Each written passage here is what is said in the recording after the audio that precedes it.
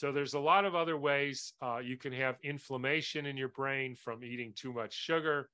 Um, the brain likes a high fat, low carbohydrate diet.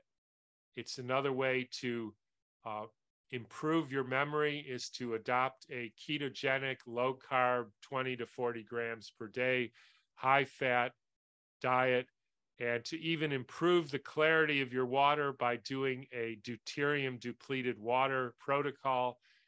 Uh, and I've talked about that some.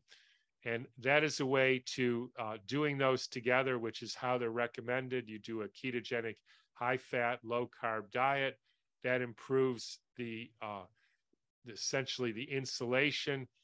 And then you lower the deuterium, which helps you improve the structuring of the water in your brain. And both of those things have been shown to help memory and people with Alzheimer's disease.